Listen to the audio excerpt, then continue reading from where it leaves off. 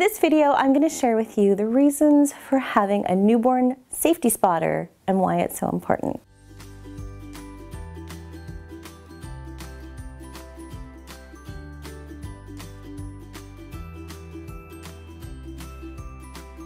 This video is not to argue whether you use or not use a spotter that you're unsafe. In my professional opinion, using a spotter is going to always keep baby safe.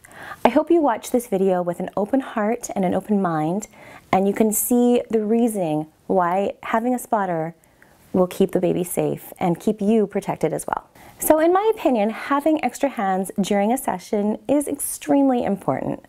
When you have these tiny little babies, they can move, they jump, they flinch, and you don't really know when that's gonna happen. If you've got a baby on a beanbag or you have baby on a prop and you're you know, three or four feet away from them, a lot of stuff can go wrong.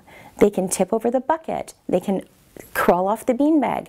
You want to make sure that you are always using the safest measures and having extra hands with you is going to keep that baby safe.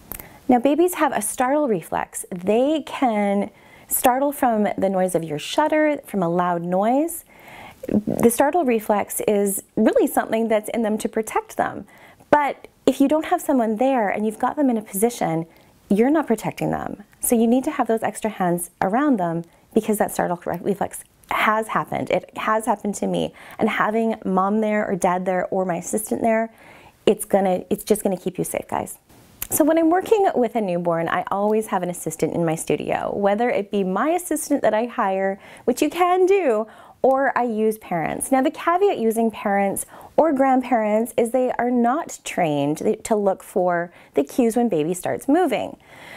When you're first getting started, you are working with with the parents and just letting them know that you need them always keeping their eyes on the baby. Now, also, I the image is never more important than the child, and I really, really want to stress this.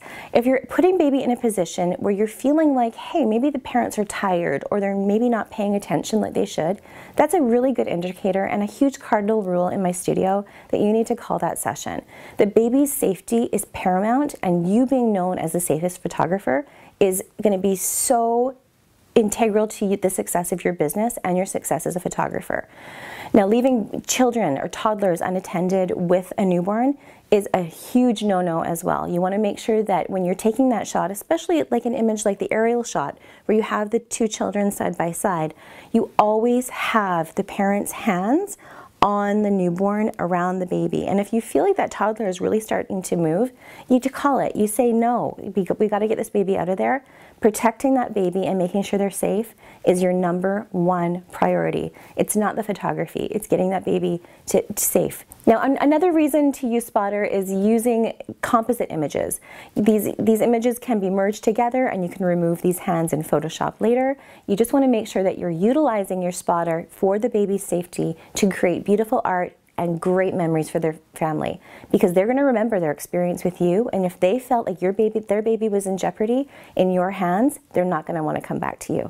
So making sure that you use that spotter and using all these little rules and tips that I've given you you're going to have a great session if you love this tutorial, I would love if you hit subscribe. And if you have not already, make sure you sign up for our weekly Love Notes.